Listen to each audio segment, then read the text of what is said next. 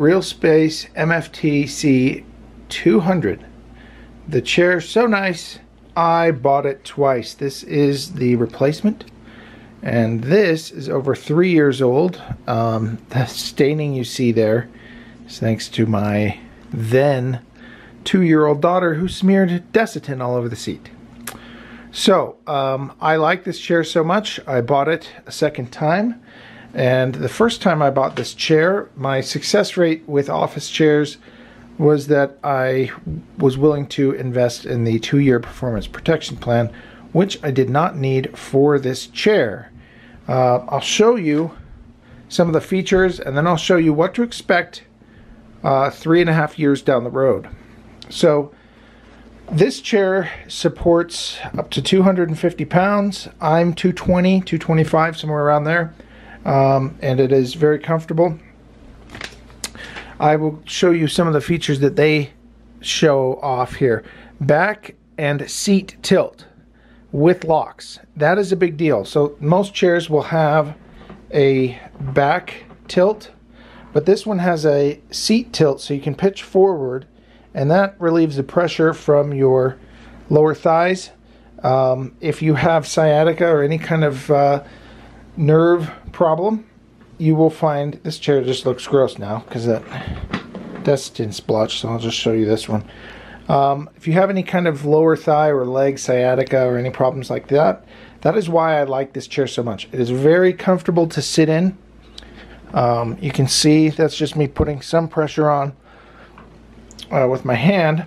The armrests are adjustable and they are soft as well. Um, the back has the mesh which breathes so you don't get too hot sitting in the chair.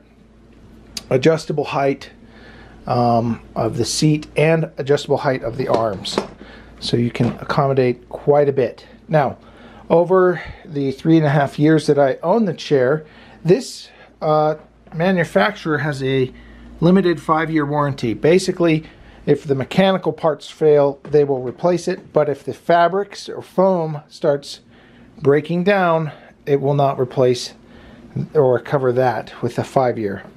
So this is what happened about six months ago. So at about the three-year mark, the chair started showing some deterioration in the foam materials. And this is a, a heavy use. If you didn't sit in this, I sat in this every day, Monday through Friday, often Monday through Saturday, for maybe eight hours at least. I work a lot. Um, the foam started breaking down and I started feeling uh, like it was wasn't supportive about six months ago as well. So I've been putting up with this for six months, but again, I like it so much, I bought it a second time. Now, the uh, the foam, they feel this feels a bit more satiny, smooth than this one, even uh, in the unworn spots. So I think they've made an improvement here. But I would uh, recommend this chair. Um, I, ha- I bought a chair from Costco to replace this, and I hated it. Um, mainly because it had armrests that would restrict the side of my thigh. Um, so if you're if you're a big big person or you like to man spread, um, you can put your thighs however wide you want and not have an issue of it bumping. So I will put a link in the description where you can pick up this chair. The extended warranty, um, you would want to go over three years if you were going to purchase the extended warranty. Um, if you get this from Office Max or Office Depot um, and you buy their performance plan, this is actually a very good performance plan for cheaper chairs. They will just give you a new one. I, I used that with some other chairs, but I've been very happy with this one. Um, retails normally around $180. Occasionally you find it on sale for as low as $100. So let me know what you think, if there's a chair that you prefer better than that, or if you had a different experience with the MFT C200 from Realspace. Thanks for watching. Please rate this video. And subscribe if you want more product reviews.